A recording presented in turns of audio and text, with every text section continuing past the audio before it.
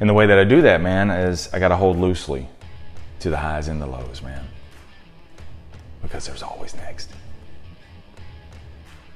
See, I've been an All American, I've been an All Louisiana, and I've been voted by the school as one of the best linemen to ever come through the university in 75 years. But I've also been bankrupt and demoted too. All of them are great. Achievement and trauma. So, which one do I hold on to? Neither. Neither one. Because I'll never let what I've done be greater than my do. And neither should you. What's up, TSL Nation? Let's go live real quick, man. My job, my mission, man, is to uh, is to get something on your mind for eight to ten minutes and get you on with your day. So, uh, thanks for being a part of the sales life. If you would, uh, you power the show, man. Share this show with uh, with others as well. That's what helps gets the word out tag someone who needs this episode. Also, if you want to listen through your ears, don't forget to subscribe to it on um, on iTunes or Spotify. Also, um, it's on the YouTube channel, The Sales Life Marsh Buice. And you will find this if you like to hang out on Instagram. It's uh, the real Sales Life on uh, on IG and IGTV. So I post um, what how when I record the podcast on my phone. I record that um, onto uh, onto IGTV. So let's rock out, man, with today's episode, episode 541. And don't let the greatest thing you've ever done be the greatest thing you'll ever do. Erik Weihenmayer uh, lost his eyesight at the age of 13. And he has climbed all seven summits and don't ask me what all seven summits are, but um, but he's climbed every one of them. And keep in mind, bro, he's blind. And when he was coming down off of the mountain, because he had reached the summit, a guy walked up to him and said, Congratulations. But don't let Everest be the greatest thing you ever do. Dan Sullivan says that many people are fixed more on status than growth. And if you chase status, you're going to stunt your growth, Sean. But on the flip side of that, if you chase growth, you'll achieve massive status. Benjamin Hardy, in his new book, Personality Isn't Permanent, he writes If your primary motive is chasing status, and status, dude, being um, a title, an income, a relationship, if your primary motive is chasing a status, then what you're going to do is is you're going to go from approach oriented to avoidance oriented. Meaning, see, when you're chasing a status, you're chasing a title, you're chasing a relationship, that boo that you got to have, you're chasing an income, whatever it is, man. If you're chasing that, once you achieve it, see, you're achieving, you're achievement oriented. But once you achieve it, then you do everything to protect it. And the way that you protect it, Thomas, is you begin to avoid. And you go from chasing a future version of yourself to protecting the identity that you created. And you do this by avoiding failure. See, you worked hard to get there. But the problem is, bro, You've got no gets.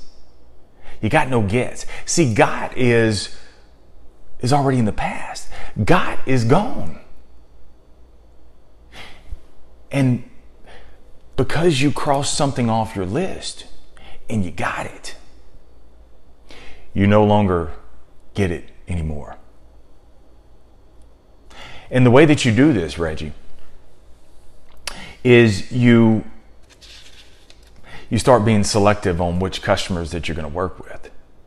And I know you, bro. I mean, you're you're of the elite status right now. So you're going to separate the buyers from the liars, the people who who are worthy of your time. You become selective and try to avoid failure, try to avoid looking stupid and foolish by you carefully write and post something that only props up that image that you want people desperately to believe. You even avoid choosing a competitor who is better than you. And actually, the only people you compete against is the person that's a little bit inferior to you. Hardy's words without a future self that has outgrown and outdone your current self, life starts to lose its meaning. It starts to lose its flavor a little bit. So here's my question to you, man. Are you carefully curating who you were? Or are you intensely creating who you aspire to be?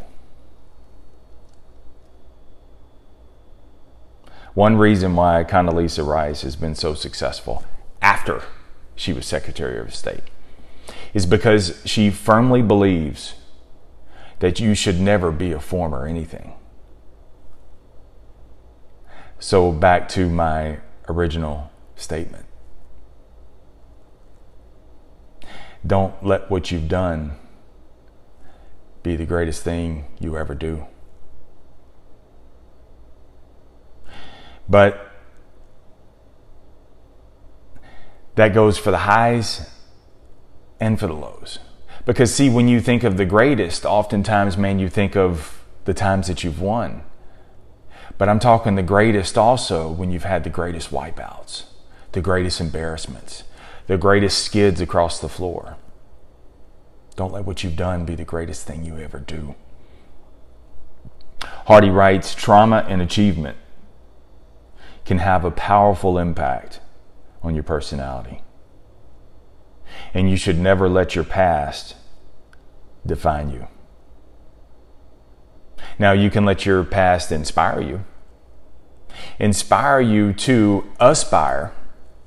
That's the point in the map on the future to aspire to a future higher self.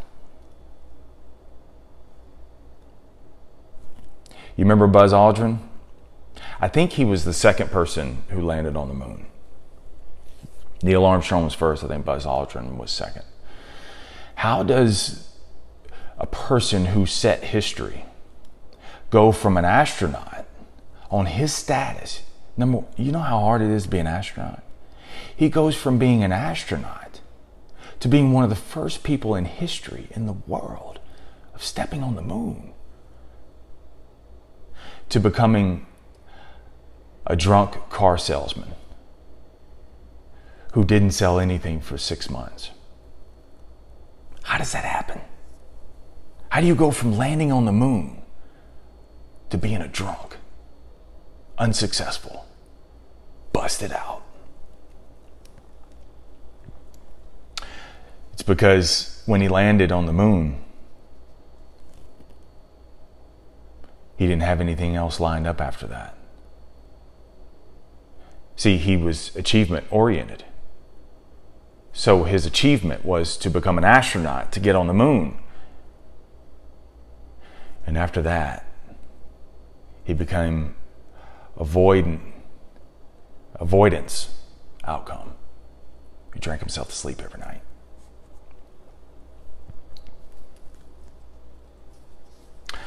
See, Aldrin had no past. Aldrin had no next. Sorry. He didn't have a next. And so he was just living in his past. And he always felt like, he said, What in the world do I do for an encore? After I land on the moon, what else is there? How, how much higher there is? See, Aldrin never had a next. And the goats, man, the greatest of all times, they're always looking for next. See, they're not fixated on what they've done, Dana. They're focused on what they need to do. So my 4 a.m. starts every morning. They're not for status. They're for growth. Because if I got up at 4 a.m. for a status, then I lose either way. Because if I do it for a status and not for growth, then if I don't get the status fast enough,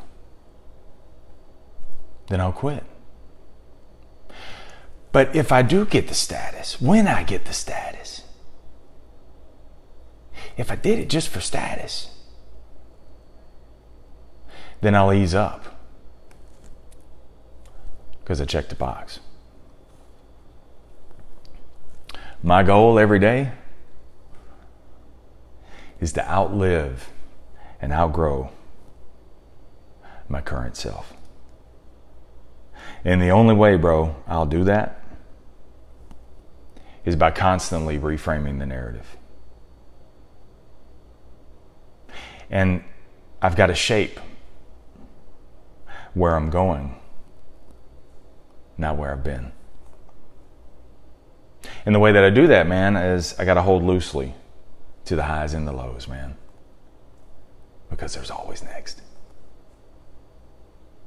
See, I've been an All American, I've been an All Louisiana, and I've been voted by the school as one of the best linemen to ever come through the university in 75 years. But I've also been bankrupt and demoted too. All of them are great. Achievement and trauma. So, which one do I hold on to? Neither. Neither one. Because I'll never let what I've done be greater than my do. And neither should you. Remember, never settle. Keep selling your way through life, no matter what. Stay in the sales life. Thank you, Sean. Thank you, Thomas. Thank you, Reggie. Thank you, Dana, for being on today's show. And uh, those who are catching up, you probably got you're on your way to work, so you're catching up. I hope you catch Sales Life later on today. Also, if you find value in today's episode, be sure and hit the share button, man. Share it with someone else. Share it on your socials. Also, hit it up with some hearts, man, some likes. And you can also subscribe to the Sales Life on Facebook. Uh, that way you don't miss any future episodes. Uh, also, it is on iTunes. Nancy, you're late. Uh, you can also listen to it on uh, on iTunes um, uh, and Spotify. It's the Sales Life with Marsh Buice, and then also on uh, YouTube and IGTV. I'll, I'll post them on there as well. So connect with me on all the socials, man. I hope you have an amazing, what's the day? Thursday. Hope you have a great Thursday. Never settle. Keep selling your way through life no matter what. Stay in the sales life. Hey, you've reached the end of this episode, but you have not reached the end of the sales life. Stay tuned. I got another one queued up just for you.